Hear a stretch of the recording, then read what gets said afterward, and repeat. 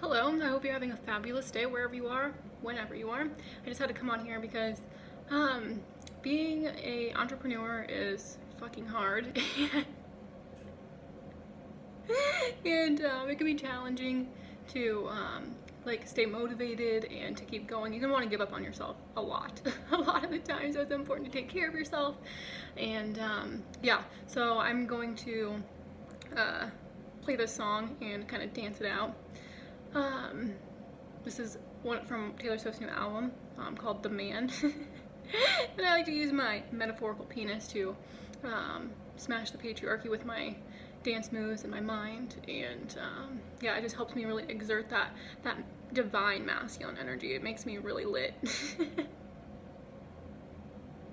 Oh my gosh because the things that once used to make me cry are now making me laugh. And the things that used to make me want to sit on the couch and eat are now making now making me get up and dance to smashing the patriarchy.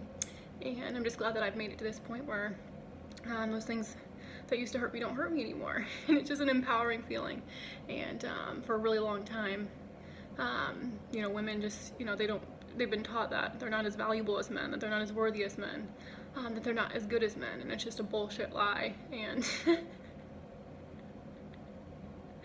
oh man it can make you really furious. But yeah we're just healing the distorted masculine energy and I believe the way that you heal your divine masculine energy is by taking care of yourself and healing your distorted feminine energy by learning how to take care of yourself. This helps me use up my sexual energy. It helps me, it's a, it's a great workout. And so yeah, something I highly recommend if you are you know, you just need to pump yourself up and that's our divine masculine energy. He gets us lit. He's our encourager. He's our motivator. He's our, you know, he he amps us up. He is like lit. And the divine masculine right now is like woohoo! Like anyway, so yeah, this energy, if you don't use this energy, it can make you feel very stuck, very stagnant, very like depressed and sad. So it's like, let's go, like I'm just ready to fuck life. And so anyway, yeah, I'll give you a little glimpse of that here. I would be cool. They'd say I played the field before I found someone to commit to. And that would be okay for me to do. Every conquest I had made would make me more of a boss to you.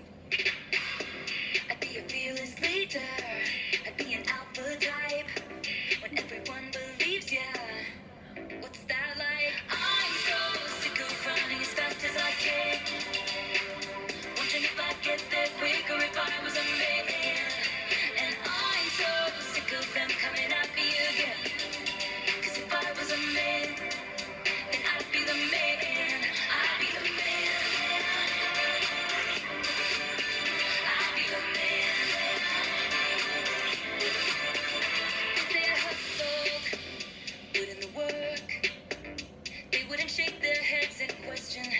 Of this I deserve. What I was wearing, if I was rude, could I be separated from my good ideas and power moves.